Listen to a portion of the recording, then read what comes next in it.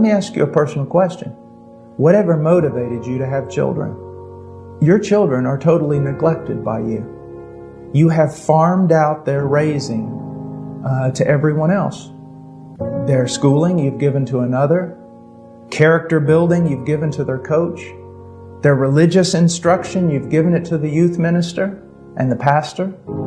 Why did you have children? Did you bring children in the world just to make your economic difficulties greater? Why did you do it? Because you were supposed to? Was it an accident? Why do you have children? And I would ask you that.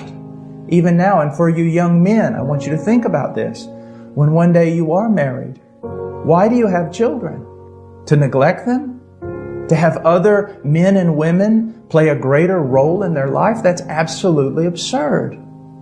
You have children because it is the will of God, and you have them in order to raise them for the glory of God.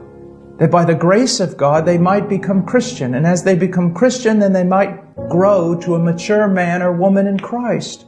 And that they might be part of the advancement of Christ's kingdom in the world. Don't think you've done your job because you simply provide. Or you take them out on vacations every once in a while, or put them in a fishing boat and take them fishing. Are you instructing them in the Word of God? Are you teaching them to pray? Are you being an example before them? Are you governing your home under the commands of Christ and for the glory of Christ? That's the question. Why do you have children? Listen to what God says to Abraham.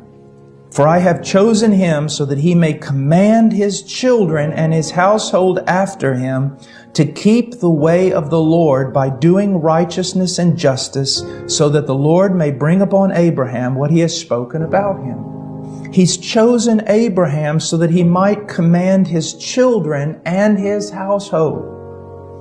If you are married, it is to command your children and your household. Command them with love. Command them with mercy. Command them with grace, but to lead them, to teach them, to instruct them that they might obey Christ in believing in Him and loving Him and loving others and that it might be well with them. I've lived and worked in missions most of my Christian life. And I have a lot of, probably a lot of hang-ups and a lot of problems, but I really don't care a whole lot about money. And I really don't care a whole lot about leaving my children a great inheritance of money or anything else. Now, I want to provide for my family. I want them to be able to live with dignity. But I have a greater gift to give my children. Because money in the hands of the godless and the ungodly only lead to judgment. The gift I can give my children is the gospel of Jesus Christ. The gift I can give my children is a father who seeks to live out the commands of Christ, which are all summed up in this to love the Lord your God with all your heart, soul, mind, and strength, and to love your neighbor as yourself. That is something I can give my children. No matter how poor I am or how rich I am, that is the greatest gift. Men, that's what you're to be about. Your heart is to beat with that type of mentality, that passion. I care about the world. I mean, I have meetings every day discussing how we can enter into places that are closed and all sorts of things and trying to pray down walls that are keeping the gospel out, all sorts of things. But that cannot be to the neglect of my children, to the neglect of my wife. You must focus on the first things.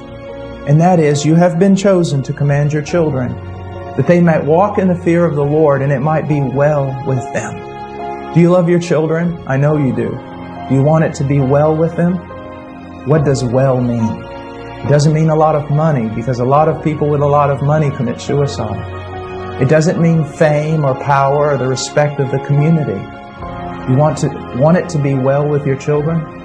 Then think eternally well, that they might know God and His Christ, and they might dwell in fellowship with the Father, the Son, and the Holy Spirit throughout all of eternity. That's the goal of the Father.